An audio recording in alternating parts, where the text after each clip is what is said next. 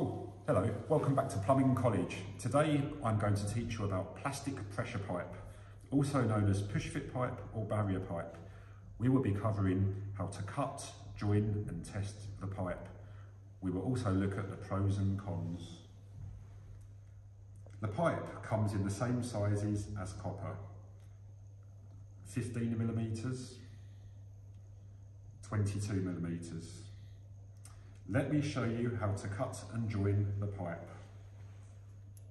To cut the pipe, you must use an appropriate pipe cutter. Never use a hacksaw. This could compromise the seals and the fittings. Today, I am going to use pipe shears.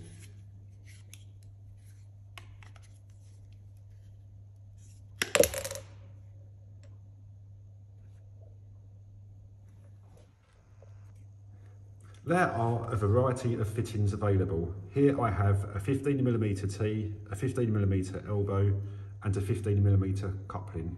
Always make sure the fittings are complete and have an O-ring, washer on collet.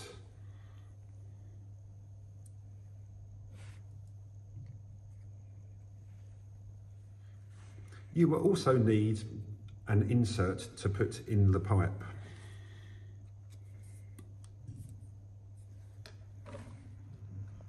Let's join some pipe.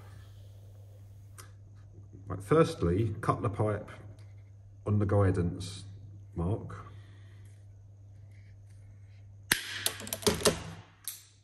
Put the insert into the pipe.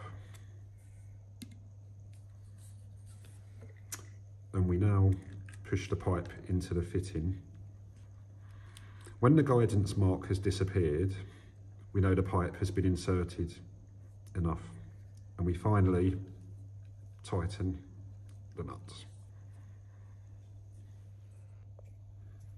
Pressure pipe also works with compression fittings. Make sure your insert is compatible. Check with the manufacturer's instructions.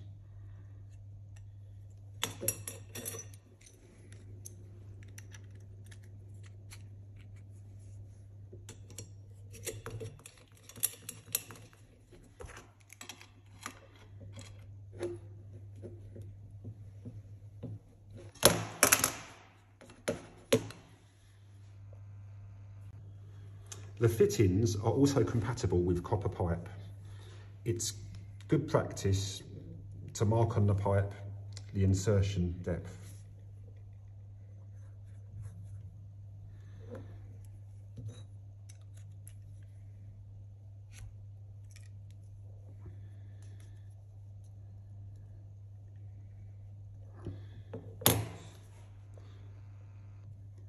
In college, you would Pressurise your work using a hydraulic tester to 5 bar and instantly you would see if there are leaks.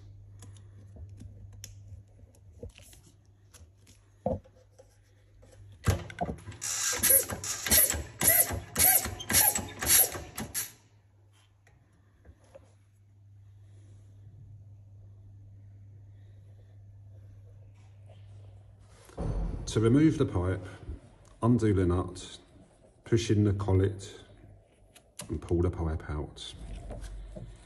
There is no need to take the nut off.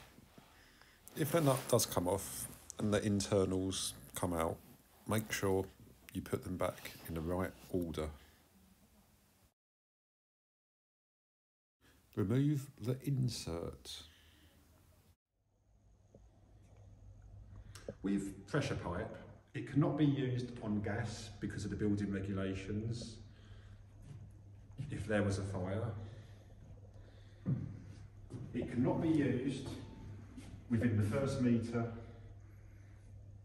of a boiler and it does not look as good as copper when it's on display.